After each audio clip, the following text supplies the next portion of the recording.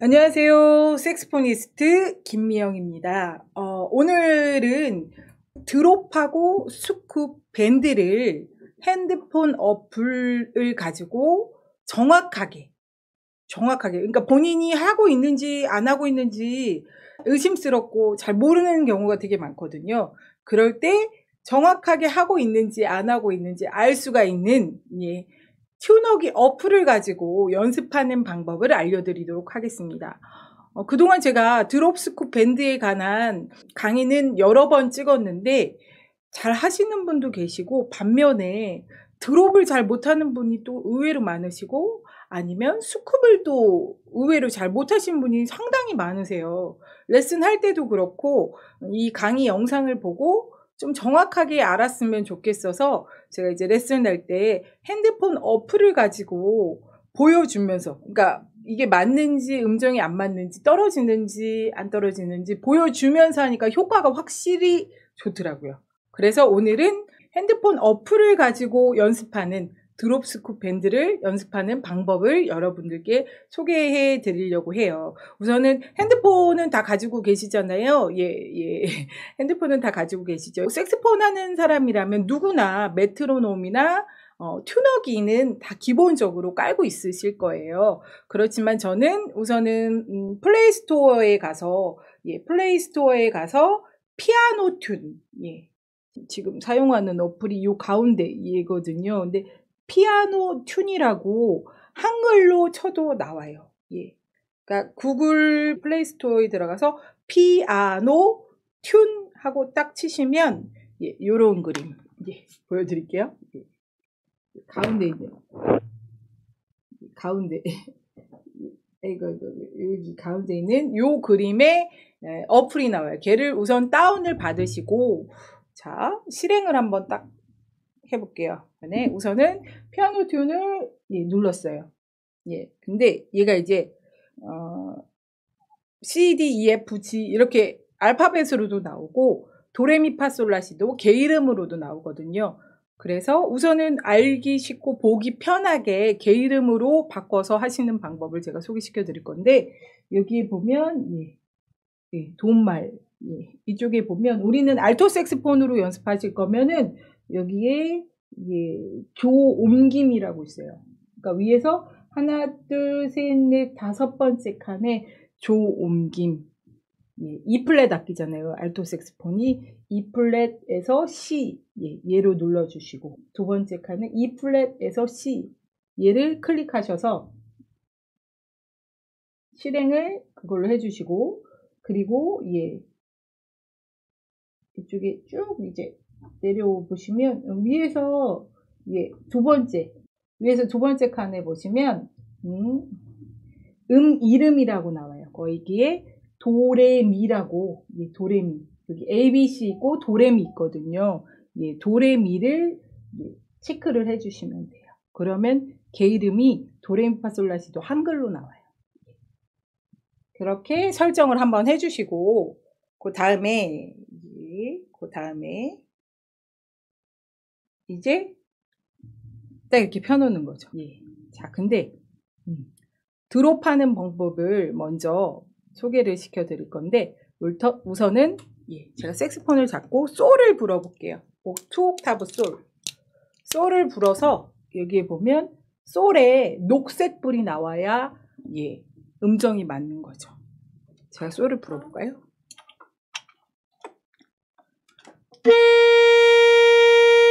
자, 약간 치우치긴 했지만 녹색 불에 들어왔어요. 이러면 음정이 정확히 맞는 거죠. 자, 그러면 드롭은 드롭은 원래 음정에서 떨어진다고 그랬잖아요. 반음 정도 떨어뜨린다고 생각하시면 솔 먼저 불고 우, 오. 앙부셔는 우, 오 한다고 그랬거든요. 솔에서 반음 떨어뜨린다고 생각하시면 여기서는 솔 플랫, 솔, 솔 플랫 나올 수 있게끔 예. 제가 한번 불어볼게요. 예. 여기다가 이렇게 카메라 예, 핸드폰이 나오게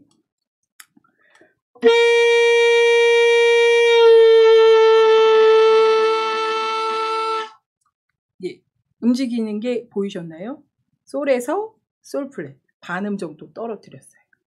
그러니까 왜 솔 플랫이에요? 예, F sharp, 예, 파 sharp도 마찬가지인데요. 여기서는 우선은 떨어지는 걸로 생각해서 솔 플랫으로 생각하시면 돼요. 자, 드롭은 우 오 그러면 솔에서 솔 플랫이 나와야지 예, 드롭이 맞게 되는 거죠. 어플상으로 보면 그죠? 다시 한번 해볼게요.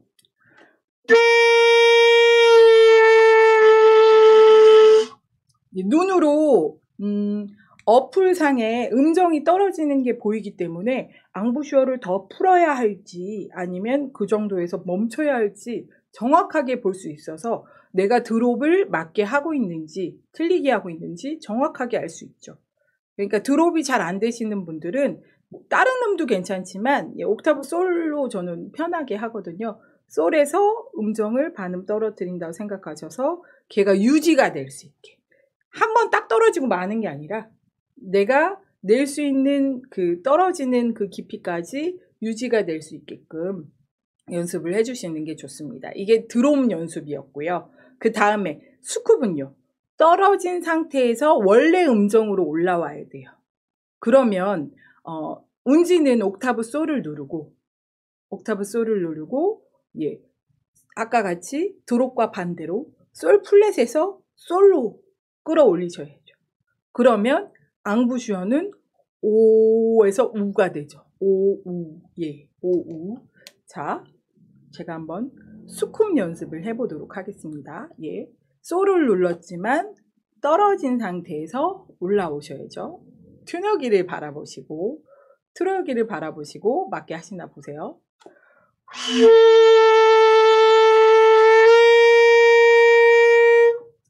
예, 솔플랫에서 솔플랫 녹색에서 솔로 예, 반음정을 끌어올렸죠. 얘를 scoop 연습. 다시 한번 처음 스타트를 예, 운지는 솔만 눌렀어요. two 옥타브 솔.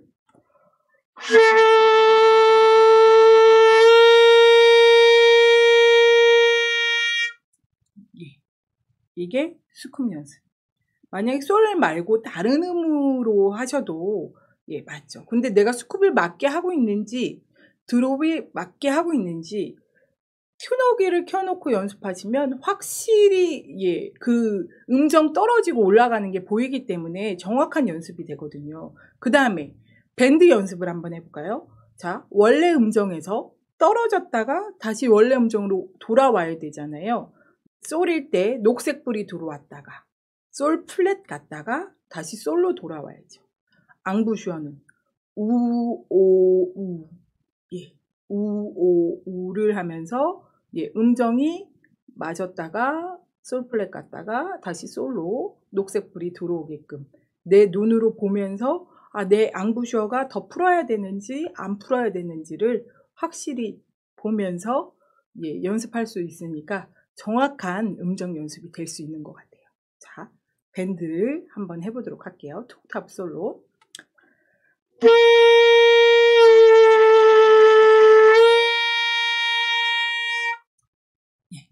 여러분들 보셨죠? 예, 다시 한번 해볼까요?